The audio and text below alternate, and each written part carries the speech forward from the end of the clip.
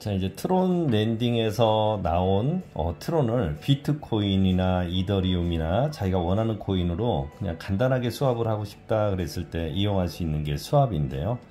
우선은 내가 내 지갑에 토큰 포켓 지갑에 어, 여기 보면 비트코인이 있잖아요. 여기에 비트코인을 어, 우선 주소를 확인을 해보는 거예요. 이렇게 내 지갑에 비트코인 주소를 확인하면은 이렇게 뜰 거예요. 여기서 입금을 누르면은 비트코인 주소가 나오잖아요. WP로 끝나고 BC로 시작하고 WP로 끝나고 요 주소를 내가 토큰 포켓에 있는 비트코인으로 어 전부 다 수합하면 여기로 오거든요. 그래서 확인하고 그 다음에 어 나의 이제 자산으로 들어가서 어, 트론을 봐야 되잖아요. 트론에 내 지갑으로 들어가는 거예요. 트론의 지갑으로.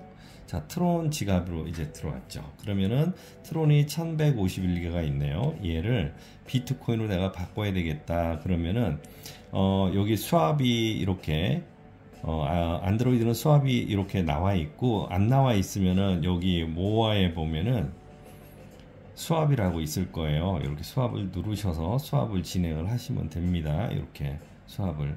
그럼 내가 트론을 가지고 있잖아요. 트론을 내가 만약에 1000개를 수수료 좀 남겨놔야 되니까 1000개를 어, 선택을 비트코인으로 하겠다. 그럼 비트코인으로 선택을 하시면 되겠어요. 비트코인으로.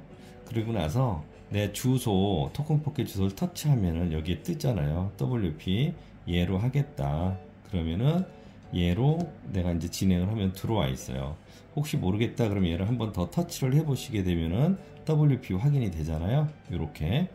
그러면 지금 현재 1000개를 가지고 비트코인 0.00264409로 바꿀 수가 있는 거죠. 얘를. 교환 확인을 누르시면 돼요. 그러면은 이렇게 해서 확인이 돼서 확인을 누르잖아요.